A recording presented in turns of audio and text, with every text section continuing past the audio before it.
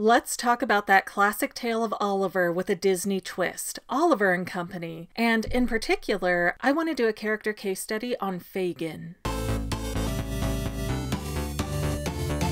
Hey Disney addicts, I'm Megan, you're watching The Fangirl, and it is time that someone talks about this movie that barely missed the cutoff for the Disney Renaissance era, Oliver and Company. And I have got to dig deep on the vagrant, multi dog owning human, Fagin, because he has got some peculiar, unaddressed layers going on in this film. But first, many of you watching weren't born before 1988, and so you may thusly need a recap of the film. Basically, a kitten in a free to good home box doesn't get adopted, ends up washed up in the streets of New York City alone and starving, and so he helps a dog named Dodger steal some sausages. Then the kitten ends up in a gang that features so many puppers. We have Tito, Francis, Rita, Einstein, plus Dodger, who all live and work with Fagin, a not unhoused, but definitely a homeless looking individual. So the dogs help Fagin rob people, which is good for the plot because Fagin owes this mafia boss, Sykes, a bunch of money, and Fagin has three days to either pay up or to have his mortal coil shed on his behalf. And the dogs are out there trying to make an honest living robbing cars when the poor little orange tabby gets captured by this neglected rich kid, Jenny, who brings the kitten home to Fifth Avenue, where he's named Oliver, and Oliver becomes the bane of Georgette the show dog's existence. But overall, he has a beautiful life now. That is, until the Fagin dogs show up to rescue Oliver and bring him back. Then Fagin notices Oliver's collar, decides to ransom the kitty to get the money he needs, and then can't bring himself to go through with his plan once he realizes the owner of the cat is a little girl. Sykes is lurking in the background though, and he decides that no, he's going to nab the girl and ransom her now. So mostly the animals rescue Jenny. Everyone then comes to her birthday party at the end where her parents are noticeably absentee, and then Oliver stays in the nice house living the high life. Huzzah! Oliver and Company is a cute movie. The voice actors are really good, and I love that Georgette's song has become a get ready with me trend on TikTok. But the songs are very hit and miss, and the writing in general lacks a lot of quality. You could walk your dog through the plot holes in this movie,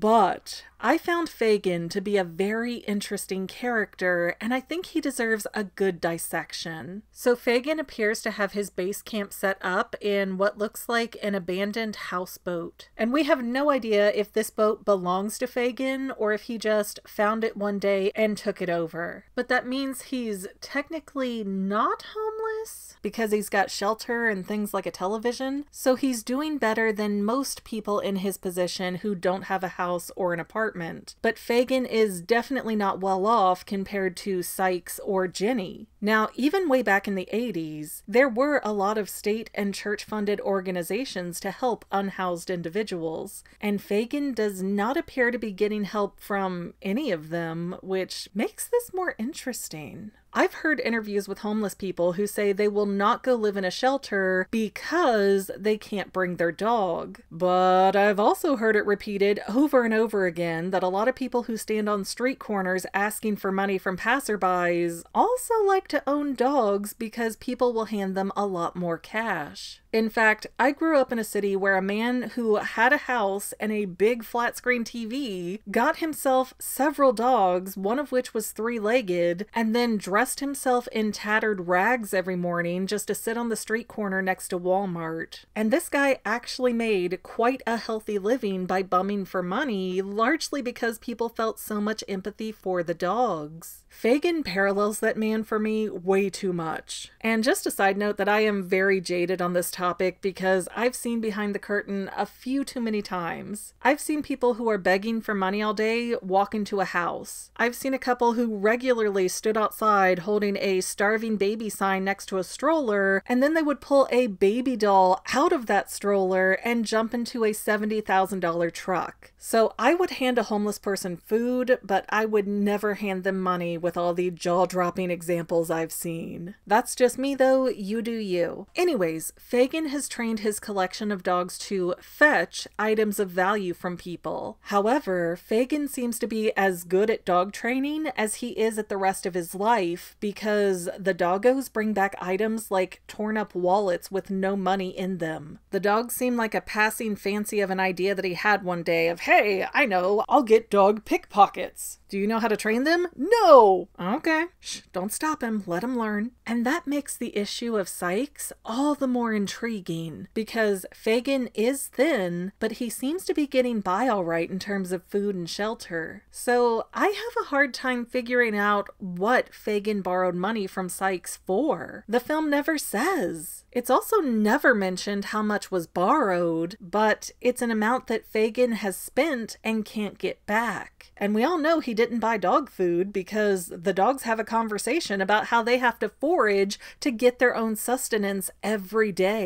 So Fagin is also a bad dog owner in addition to a bad dog trainer. And I mean, it would make sense if Fagin borrowed money to get an apartment and maybe some wardrobe in order to get himself a job and go on the straight and narrow path. But nah, whatever he needed money for, he used it up quickly. Not to mention, on the flip side of this, why would Sykes loan any money to a homeless man? Sykes could have taken one look at this guy and known he'd never be able to pay him back. And it's not even like Sykes was using that loan as an exploitative force to force Fagin to work for him. So it seems like Sykes had a real killing boner and just legit wanted an excuse to terrorize and end someone, and Fagin fit the bill. But what could Fagin have used that money on? Well, honestly, the only two logical answers are that he either has a gambling problem, meaning Fagin might have taken out a large loan to place a surefire bet that did not turn out to be so sure or fiery, and while that notion could work in theory, I don't see why the movie would not make mention of gambling issues at all. Then there's option two. Fagin is a junkie, and he needed money to feed his habit, which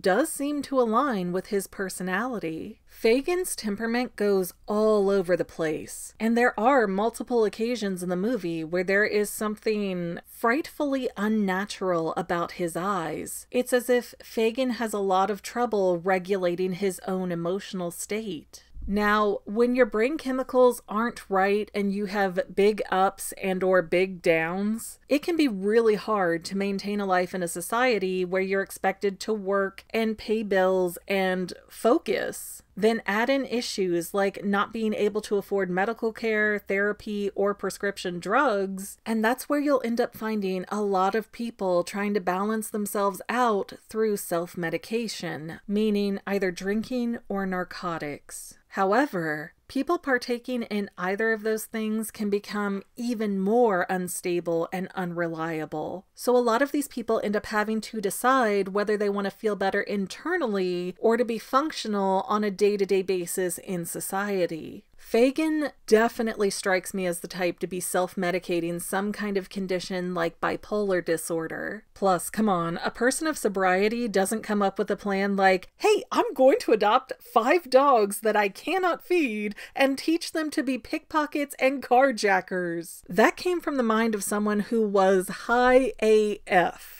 And when a person who becomes dependent on narcotics can't afford to buy their next dosage, they tend to do some pretty crazy things, like rob people or take money from loan sharks, because they often can't see around corners to realize they'll face consequences. They're too preoccupied with getting their next hit. Again, all of these attributes just scream Fagin for me. And the film totally forgets that Fagin is a villain. He not only tries to ransom Oliver, but he has no problem stealing from people or otherwise hurting them. He doesn't even care if his dogs get fed or if they end up picked up by the pound and put to sleep while he lets them roam the city with no legally required tags. Just because Fagin had a change of heart when he saw Jenny, and just because Sykes is a more pronounced villain, that does not let Fagin off the hook for the kind of person he's displayed to be over and over again. This character is a junkie who doesn't think anything through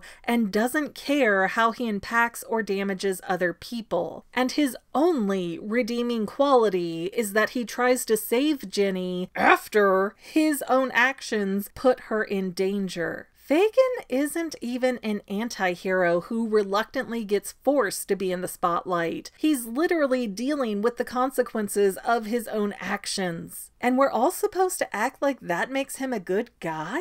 Fagin never even admits that he caused all these issues for Jenny, and he never tries to take accountability for himself. Leave that man in the gutter, he belongs there. It also bothers me that the person supervising Jenny, this all in one nanny, butler, chauffeur, and cook, decided that it's a good idea to let Fagin into their home for Jenny's birthday party. Like, uh, what? I get why Jenny would want to invite the dogs and Fagin because Jenny doesn't know that Fagin was the one ransoming Oliver. But who in their right mind is going to hear this story and let a young girl cozy up to someone like Fagin? No, I won't accept this. It doesn't make any sense, and it throws off the entire ending of Oliver and Company. I get they wanted a big happy ending, but there has to be a more sensible way to do this. Hook Fagin up with a job, have the birthday party in a public park, something that seems a little bit sensible. Just ugh. But since this movie existed in the awkward period of Disney films where they might be okay, but not the greatest or most sensibly told stories, how do you feel about Oliver and Company, Fagin, and the ending? Let me know in the comments. I might be overthinking it, but that's literally my job.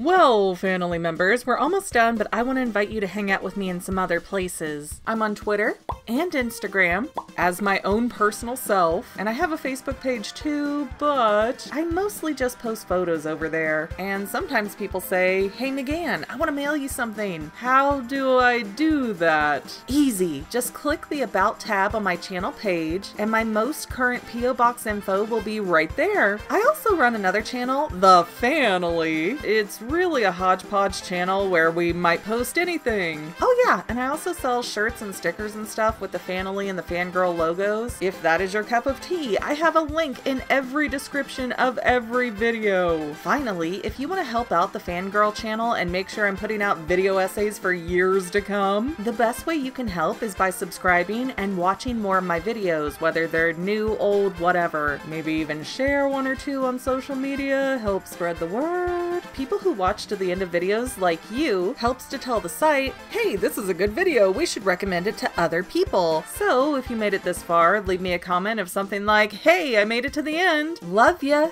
See ya next time, family members. Bye.